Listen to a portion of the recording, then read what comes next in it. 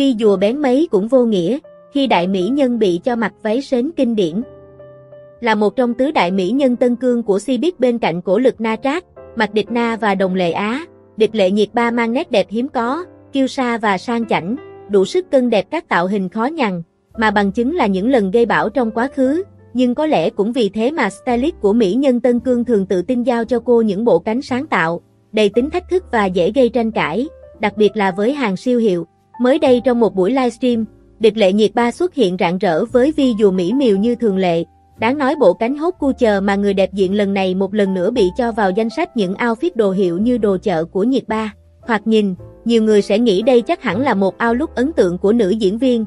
Cô khoác lên mình chiếc váy có chủ đề thiên nhiên, cây cối với thân và đuôi váy được phủ kín bằng lá bạc, tạo điểm nhấn với nơ hồng và lớp lưới đính ngọc trai tròn quanh vai, với phối màu và kiểu dáng khó nuốt này, đi cùng với phông nền của set quay kia, vi dù sang chảnh của nhiệt ba cũng khó lòng thoát khỏi hai chữ sến sẩm. Trên mạng xã hội, các fan của người đẹp dù mê đắm nhan sắc của thần tượng, nhưng cũng không thể phủ nhận, bộ trang phục này đã được vi dùa của nhiệt ba gánh còng lưng, màu sến quá, cái vi dùa gánh còng lưng bộ đồ, này là lụa đẹp vì người nè, mặc xin cân cả bộ đồ, bộ này nó sến mà quê, ý chị tôi đẹp cho mặc bộ đồ vậy á.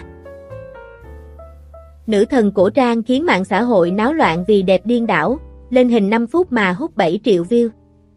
Theo Sohu, dự án cổ trang Vĩnh Dạ Tinh Hà đang là tác phẩm được chú ý nhất trên màn ảnh hoa ngữ. Sau một ngày phát sóng, phim đứng top 1 trên nhiều nền tảng mạng xã hội về độ hot, lượng bàn luận của khán giả. Không chỉ có hai nhân vật chính Ngô Thư Hân và Đinh Vũ Hề được khán giả yêu thích, nữ diễn viên Trần Đô Linh đóng vai khách mời kính yêu, cũng có màn xuất hiện bùng nổ màn ảnh. Theo đó, kính yêu là một nhân vật xuất hiện trong thế giới gương, vì có quá khứ đau buồn về tình cảm, kính yêu luôn tìm cách dụ dỗ các tân lang, để chứng minh cho tân nương thấy đàn ông không đáng tin. Dù trong đêm tân hôn hắn có thề nguyện thế nào, thì sau này cũng sẽ phản bội lại người vợ của mình. Một nhiệm vụ của nữ chính Lăng Diêu Diệu là đánh bại kính yêu, giải cứu những người khác. Trong vai kính yêu, Trần Đô Linh xuất hiện với tạo hình váy đỏ của Tân Nương, kết hợp với trang sức bằng vàng vô cùng rực rỡ kiều diễn, theo Sohu, để làm nổi bật nét yêu mị của vai diễn. Các nhà thiết kế đã sử dụng lượng trang sức lớn khá rườm rà, nhưng Trần Đô Linh vẫn được khen đẹp, nhờ gương mặt nhỏ nhắn xinh xắn rất hợp tạo hình cổ trang. Với chiếc mũ rườm rà như vậy, nếu là người khác có thể bị chê sến và xấu, nhưng ngũ quan của Trần Đô Linh rất hoàn mỹ, hợp tạo hình cổ trang, tạo nên hình ảnh yêu quái trong bộ đồ cưới tuyệt đẹp. Một khán giả bình luận trên Weibo, thực tế, thời lượng xuất hiện của Trần Đô Linh trong phim chỉ khoảng 5 phút, nhưng tạo hình của cô ấn tượng tới mức bùng nổ các nền tảng mạng xã hội. Trong đó, trên Weibo có hai chủ đề, Trần Đô Linh xuất hiện với khoảng 7 triệu lượt tương tác, trên mạng xã hội Tiểu Hồng Thư Bộ móng tay của kính yêu, cũng trở thành chủ đề hot. Không những vậy, trên nền tảng có nhiều người dùng thực nhất là Du Dinh, vai diễn kính yêu còn đứng thứ tư trong số các nhân vật đang hot, chỉ sau Ngô Thư Hân, Đinh Vũ Hề và Hồ Minh Hạo, cao hơn cả triệu lộ tư. Netizen trầm trồ trước nhan sắc của Trần Đô Linh. Trần Đô Linh trong Vĩnh Dạ Tinh Hà đã làm điên đảo dân cư mạng, tạo hình và nhan sắc đều hết sức ấn tượng, có thể nói là tạo hình nữ xuất sắc nhất trong các phim cổ trang thần tượng gần đây. Trần Đô Linh cứ lên vai phụ là tạo hình đỉnh và ác, diễn cũng hay, tạo hình này, góc quay này, mới gọi là xinh đẹp, hợp Trần Đô Linh nè. Trời ơi khách mời mà ăn đức tạo hình thẩm mỹ góc quay bên đại mộng quy ly. Mặt bạch nguyệt quang, nhưng diễn vai ác mê hơn vai tốt.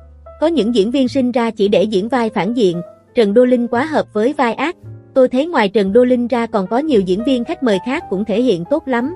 Ví dụ Trung Hân Đồng, Vu Mông Lung, Lại Nghệ, dàn diễn viên sang xịn miệng thiệt luôn. Công nhận xinh, nhìn ấn tượng, không góc chết. Trần Đô Linh đẹp khủng khiếp luôn. Trước giờ tôi thấy cô ấy đẹp bình thường thôi, ý là Trần Đô Linh rất đẹp, nhưng không khiến tôi thốt lên, mà qua phim này đẹp nao lòng, đẹp câm nín, đẹp giả mang luôn. Hồi đầu nhìn hình thấy không ấn tượng, mà lúc lên phim nó ấn tượng hơn tôi nghĩ. Khách mời tập đầu nhưng Trần Đô Linh đẹp thiệt, thời lượng ít, nên xem ổn áp.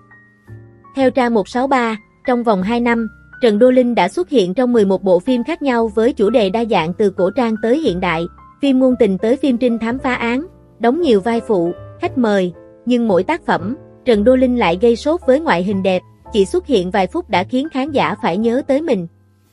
Vĩnh Dạ Tinh Hà chuyển thể từ truyện sổ tay công lược Hắc Liên Hoa nổi tiếng, thế nên rất được khán giả mong đợi.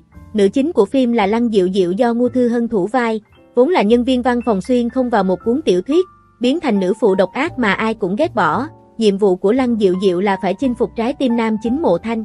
Tuy nhiên, Mộ Thanh luôn nghi ngờ nữ chính, anh không ít lần ra tay trừ khử nàng, bởi Lăng Diệu Diệu nhiều lần đầu độc chị gái của anh.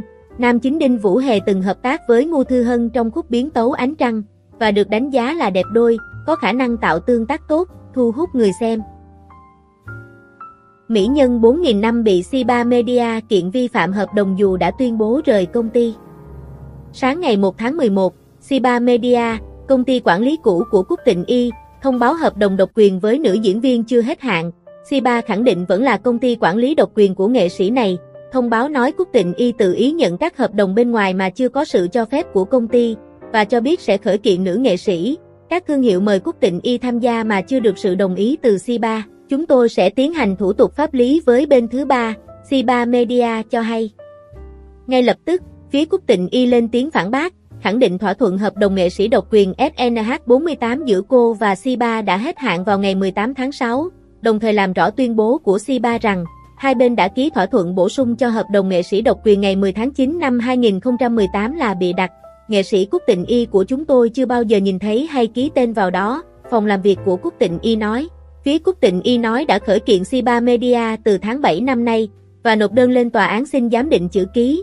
Mục đích của việc này là quốc Tịnh Y để đối phó với các hành vi khác nhau của C3 Media trong việc giả mạo thỏa thuận bổ sung sau khi hết hạn hợp đồng, bịa đặt sự thật về việc gia hạn hợp đồng, phá hoại ác ý và kích động dư luận. Chúng tôi sẽ không bao giờ dung thứ cho bất kỳ hành vi nào gây tổn thất cho các đối tác khác nhau của mình và sẽ sử dụng vũ khí hợp pháp để bảo vệ quyền và lợi ích hợp pháp đại diện diễn viên Cúc Tịnh Y nói.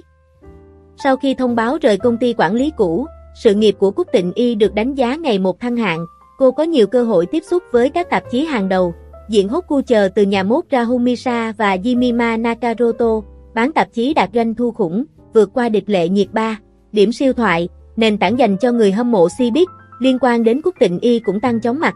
Chính những chỉ số vượt bậc sau khi rời khỏi C3, khiến người hâm mộ cho rằng nữ diễn viên không được đầu tư thỏa đáng. Dù đã hoạt động trong công ty 10 năm trời, người hâm mộ tố cáo C3 Media cố tình kìm hãm sự nghiệp của Cúc Tịnh Y, không muốn cô quá nổi tiếng vì sợ khó kiểm soát hợp đồng độc quyền. Cúc Tịnh Y sinh năm 1994 tại Tứ Xuyên Trung Quốc, khi mới gia nhập giới giải trí, cô được biết đến với tư cách ca sĩ thần tượng nhóm nhạc SNH48. Sau này, cô rời nhóm theo đuổi nghiệp solo và từng bước tiến tới con đường diễn xuất. Nữ diễn viên chỉ cao 1m59, nhưng có vóc dáng thanh mảnh, làn da trắng, gương mặt sắc sảo. Nhiều người tố Cúc Tịnh y phẫu thuật thẩm mỹ, nhưng cô không lên tiếng. Bên cạnh đó, cô còn được truyền thông ca tụng với danh xưng mỹ nhân 4.000 năm. Gần đây có tin đồn nữ diễn viên sẽ gia nhập đoàn phim họa bị do Quách Kính Minh đạo diễn. Trần Tinh hút phát mát tổng tài trong phim mới. Sau hai phim truyền hình có cùng hình tượng giám đốc đẹp trai tài giỏi, là anh cũng có ngày này, người phiên dịch của tôi, Trần Tinh Húc thay đổi với vai diễn bác sĩ trong phim Lời nói dối của em cũng dễ nghe. Bộ phim ngôn tình của hai diễn viên Trần Tinh Húc và Trương Dư Hi, ban đầu không nhận được nhiều sự chú ý của khán giả, vì lên sóng cùng thời điểm với nhiều phim nổi bật khác. Tuy nhiên qua vài tập, thì phim trở thành ngựa ô ấn tượng, cốt truyện phim cô động, Dịp phim nhanh với nhiều tình tiết ý nghĩa, đã ghi điểm trong lòng khán giả. Tại một nơi xảy ra thảm họa ở Tây Nam của Trung Quốc, các đội y tế cứu hộ và tình nguyện viên vội vã đến hỗ trợ, Bác sĩ Hành Tri Chỉ và nữ diễn viên tham gia với vai trò tình nguyện viên Tần Phỉ, đã có nhiều hiểu lầm ban đầu. Tuy nhiên sau đó, họ dần dần nhìn thấy được những điểm tốt của nhau trong hành trình cứu giúp mọi người, không chỉ là một bộ phim thần tượng đơn thuần, mà lời nói dối của em cũng dễ nghe còn truyền tải nhiều giá trị tích cực, chẳng hạn, phim nhấn mạnh tầm quan trọng của sự chân thành và lòng dũng cảm, bên cạnh nhan sắc rạng rỡ, cặp đôi cũng có nhiều tiến bộ trong diễn xuất và hợp tác ăn ý. Dù kém Trương Dư Hi 5 tuổi, nhưng vẻ ngoài chững chạc của Trần Tinh Húc đã xóa tan khoảng cách tuổi tác, khác hẳn với hình ảnh của những ông chủ lạnh lùng trong các phim trước. Nam diễn viên sinh năm 1995 đã thể hiện được sự đa dạng trong diễn xuất. Nhân vật hành tri chỉ của anh luôn là người nhiệt tình hỗ trợ mọi người và có trái tim ấm áp.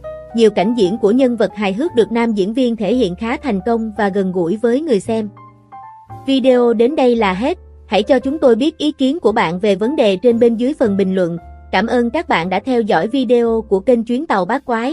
Nếu thấy hay và hấp dẫn, các bạn hãy bấm đăng ký và chuông thông báo để nhận những video mới nhất nhé.